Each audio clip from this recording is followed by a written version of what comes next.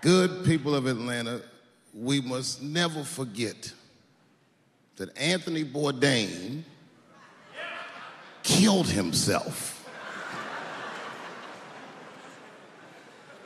Anthony Bourdain had the greatest job that show business ever produced. This nigga flew around the world and ate delicious meals with outstanding people. That man, with that job, hung himself in a luxury suite in France. They say 2000 zero zero party over, oops, out of time. So tonight I'm gonna party like it's 1999. I knew a nigga in high school that was an urban genius. This motherfucker's grades were so good, he got all the way from the hood to an Ivy League school with a full scholarship. From there, the motherfucker got himself into one of the best law schools in the country. And when he was in law school, he met a woman and they fell in love and they were gonna get married. I remember him telling me about it. He was home for Christmas, and I told him, I said, My man, my man, save that bitch for later in your life.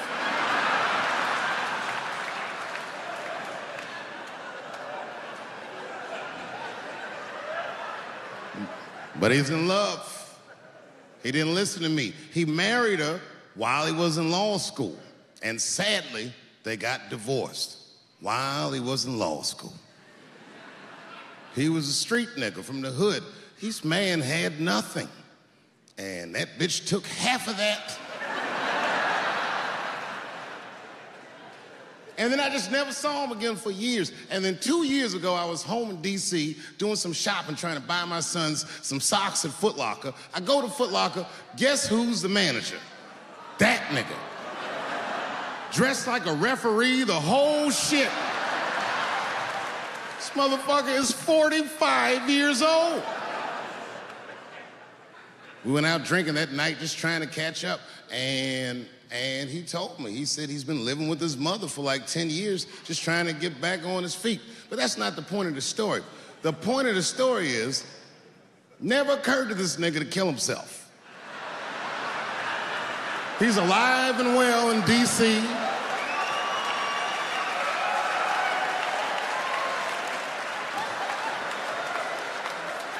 I even suggested to him that he should try it out. Like, I don't know, nigga, you might. Uh...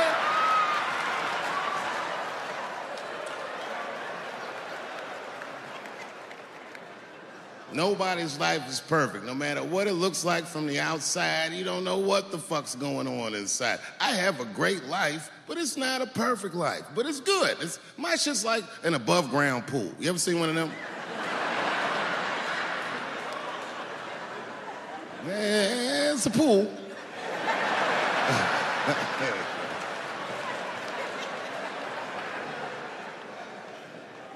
So, in that spirit, tonight I thought I'd start my show a little differently.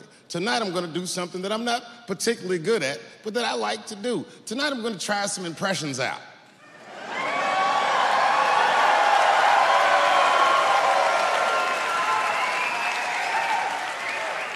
I only got two.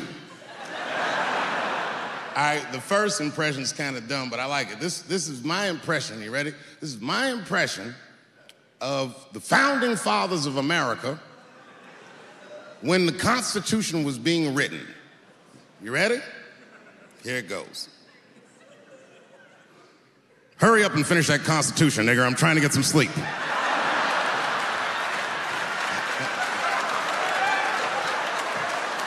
It's not bad, right? All right, the next one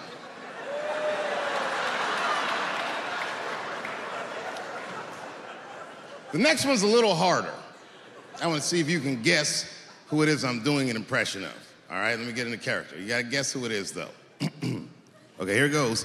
Uh, duh, hey, duh, if you do anything wrong in your life, duh, and I find out about it, I'm gonna try to take everything away from you. And I don't care what I find out. Could be today, tomorrow, 15, 20 years from now. If I find out, you're fucking duh finished. Who, who's that? That's you. That's what the audience sounds like to me. That's why I don't be coming out doing comedy all the time, because y'all niggas is the worst motherfuckers I've ever tried to entertain in my fucking life. Oh.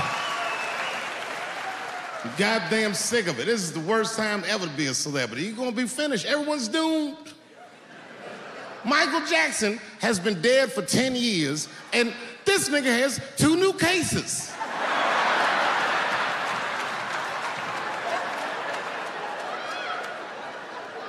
And if you haven't watched that documentary, uh, then I'm begging you, don't watch it. It's fucking gross. I felt like HBO was sticking baby dicks in my ears for four hours straight.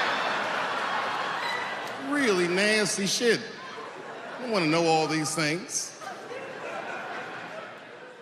Turns out, uh, Michael Jackson allegedly likes a long gander at the anus. So they said he stares at people's buttholes. That's what they said. That's how gross the documentary was.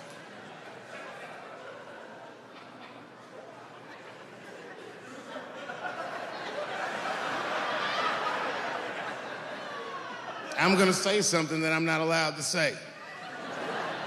But I gotta be real. I don't believe these motherfuckers. I do not believe it. But let me qualify the statement. I, I am what's known on the streets as a victim blamer. You know what I mean? Somebody come up to me like, Dave, Dave, Chris Brown just beat up Rihanna. I'll be like, well, what did she do?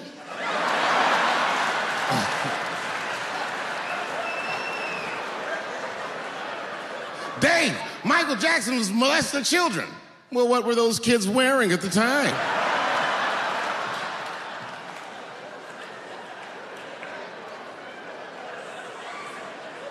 I don't think he did it. But you know what? Even if he did do it, you know what I mean?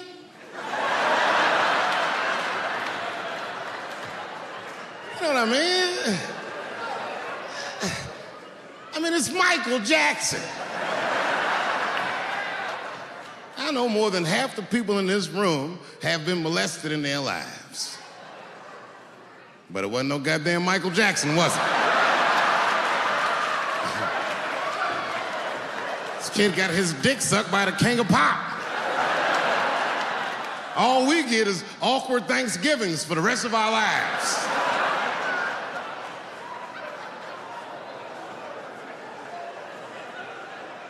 You know how good it must have felt to go to school the next day after that shit?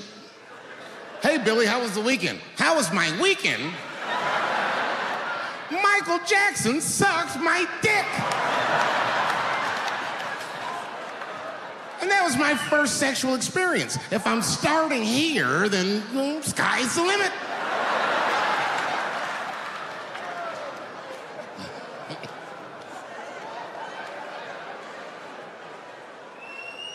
I know it seems harsh, but man, somebody's got to teach these kids. There's no such thing as a free trip to Hawaii. He's gonna want to look at your butthole or something.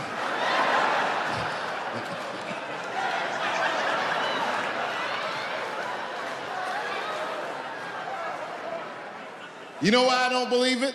You know why I don't believe it? Because if Michael Jackson's out here doing all this molesting, then, then why not Macaulay Culkin? Hmm? Macaulay Culkin said in an interview that Michael Jackson never did anything inappropriate with him or even around him. Think about that shit. You know, I'm not a pedophile. But if I was, Macaulay Culkin's the first kid I'm fucking, I'll tell you that right now.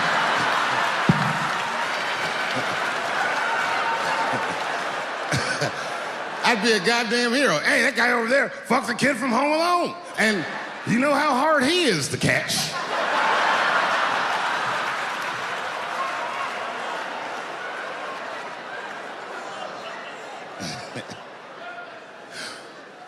My mind's telling me no.